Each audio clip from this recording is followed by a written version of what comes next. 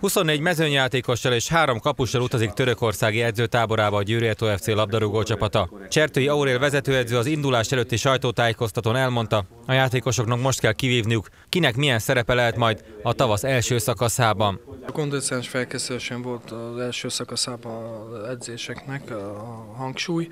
Most elkezdjük a mérkőzéseket, kis finomítás, taktikai dolgokat, taktikai elemeknek a begyakorlása. Tehát magyarul mérkőzések lesznek a fontosak, tehát ráhangolódás a bajnokságra, mind csapat, mind egyéneknek a versenyeztetésében nagyon fontos szakasz ez. Kialakul majd egy kezdőcsapat, srácoknak melozni kell azért, hogy bekerüljenek a kezdőbe. Eddig kiemelném azt, hogy mindenki keményen dolgozik, tehát oda teszi magát, érzi a felelősséget és sikert akarnak elérni.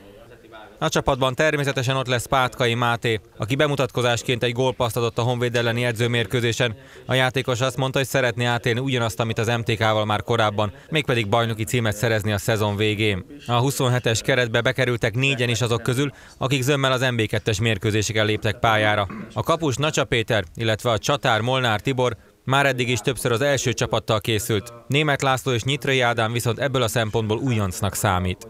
Ezt ki kellett érdemelni, tehát a teljesítményükkel az edzőjük elégedett volt, ezt közösen beszéltük meg, tehetségük megvan.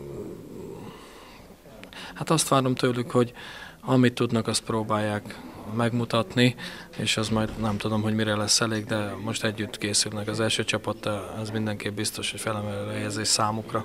Az Eto 12 napot tölt el Törökországban, Ebből kettőt utazik, másfél hétig pedig az edzések mellett majd négy mérkőzés is lesz. Az ellenfelek között találjuk az orosz, illetve a cseh bajnokság hatodik, valamint az ukrán bajnokság harmadik helyezettjét. A törökországi zárómeccset pedig a moldáv bajnokság listavezetője, a kisinyoviak ellen játszák a zöldfehérek.